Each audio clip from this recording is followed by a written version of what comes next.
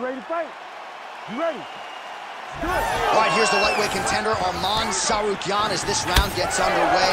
There are easier draws in a UFC debut than Islam Makhachev on short notice. He was competitive that night, and he has been largely dominant throughout his UFC lightweight career. He believes he will have both the striking and the grappling advantage in this particular matchup here tonight.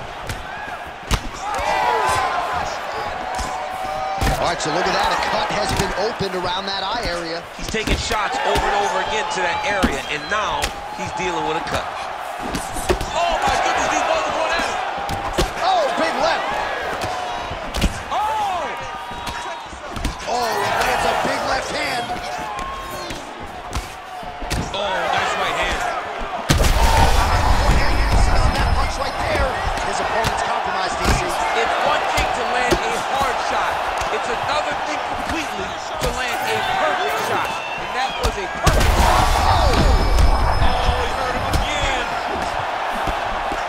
Good series of punches by him there. He has been busy throughout. There it is again. Look at it. You gotta fight out. Oh, you gotta love the ground and pound strikes. Dude's hurt. Him up. Go get him. Oh my goodness. Oh, you see his high-level footwork here, maybe trying to set up that hook shot again, potentially. You could tell, John, he's setting a trap. He's trying to walk his opponent back into his hook side, his big power side. So he'll keep feint, out little punches, with no intent to land, just to get his opponent where he needs him to be to land that kill shot. All right, well, things are getting critical now. A lot of damage, a lot of blood in and around that eye.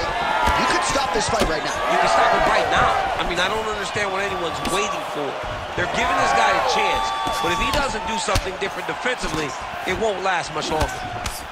Nice body shot there.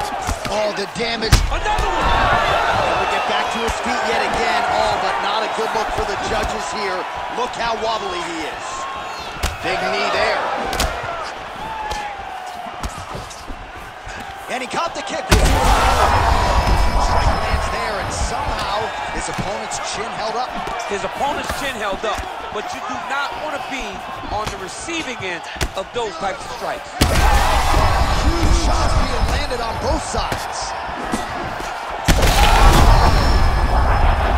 Oh, I think he's still compromised. We'll see if he can recover here. He's in a world of trouble. Gets back to his feet.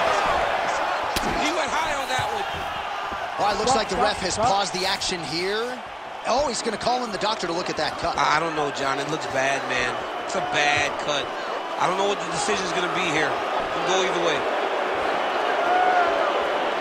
Well, the doctor doesn't care about your feelings there here. That's the It's end of the fight. And again, when you talk about idea. fighting in the future, you got to have an athlete's health in mind. I know you hate to see it. but- You know, you had an idea, right? The cut's in a bad spot. You knew there was a possibility. Unfortunate that it ends this way. All right, we now go inside the octagon. Bruce Buffer to wrap it with the official decision. Ladies and gentlemen, the doctor has called a stop to this fight, declaring the winner by TKO